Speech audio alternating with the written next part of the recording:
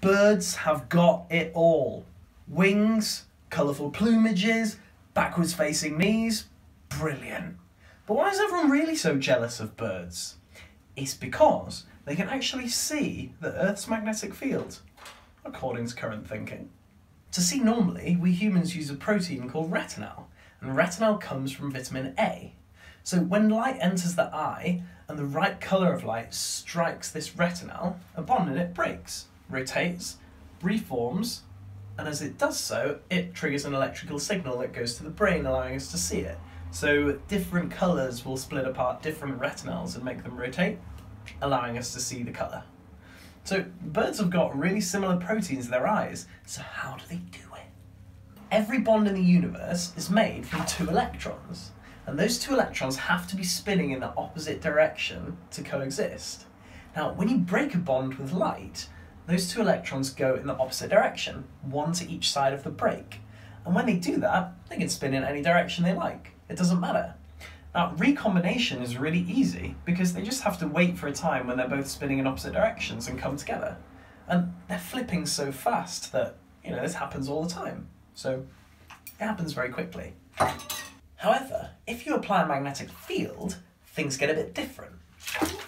So now we still have our pair of electrons, but when we split them apart with light, they're not just randomly mixing up and down anymore, they way prefer to be aligned to that field.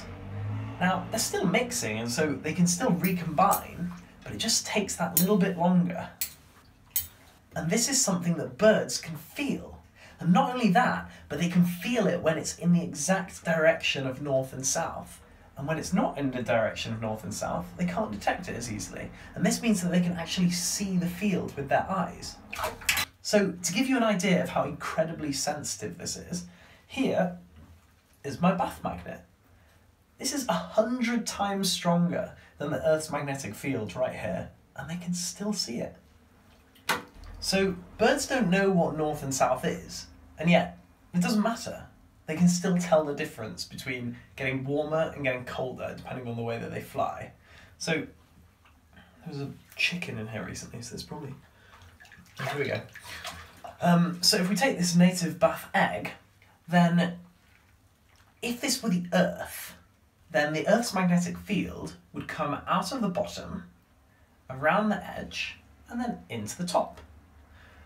And so if you look carefully, you'll see that at the bottom of the Earth and at the top of the Earth, the Earth's magnetic field lines are going directly into the surface. Whereas around here at the equator, they're going sideways, they're going flat, same direction as the surface. Which means that depending on where you are, how far north or how far south, the Earth's magnetic field is tilted differently. So right here, mm, I reckon that way's north, and so the Earth's at about, the field is about 60 degrees downwards. The Earth's magnetic field is going down like this, which means that a bird, if they look down that way, will see the Earth's magnetic field downwards and the Earth's magnetic field upwards, and they know that if they fly up, things are going to get warmer, and if they fly if they fly down, things are going to get colder. That's all that they need to know. Earth's magnetic field flips every 200,000 years, and the last time it flipped was about 200,000 years ago, so we're expecting another one pretty soon. In fact, Earth's magnetic field has been gradually reducing in strength since records began. In Roman times, it was about double the strength that it is now.